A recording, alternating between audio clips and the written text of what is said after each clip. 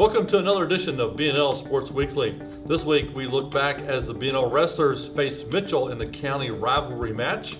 Boys basketball was on the road at Evansville Reitz, and the BNL girls faced Castle in a showdown of ranked teams. We'll be right back with all those highlights.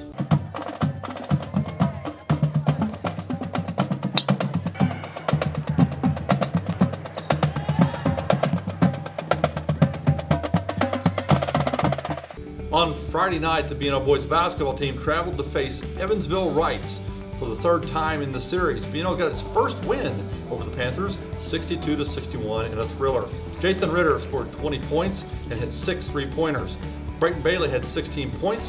Trey Millette came off the bench for an emergency starting situation as Drew Scheffler suffered an ankle injury in practice. Millette had two big plays in the fourth quarter, and McCall Ray hit a game-winning free throw for the Stars.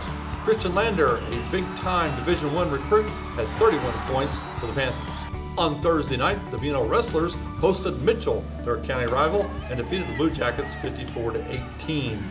Isaac Johnson, Reese Hamlin, Connor Smith, and Derek Hutchins all had pins for the Stars. On Saturday, the BNL girls basketball team was back in action as the number six Stars hosted number 12 Castle. The Knights surprised the Stars 56 to 51. Jory Allen had 20 points, while Madison Webb had 13 and didn't miss a shot for BNL. Natalie Niehaus, a talented freshman, had 18 points for Castle. On Thursday, the BNL boys swimmers faced Columbus East and came away with a victory. Double winners for the Stars included Andrew Swinson, Alexander Swinson, and Jacob Worley. Skylar Bates won the diving, and BNL also won two relays. Columbus East won the girls' meet. Sydney Carlisle and Haley Hetfield each won two events for the Stars. Coming up this week, the BNL girls will be back in action on Tuesday night at Columbus East, and they will also travel to Floyd Central on Saturday. The Stars will be looking to wrap up the Hoosier Hills Conference Championship. Wrestling will compete in the HHC meet on Saturday.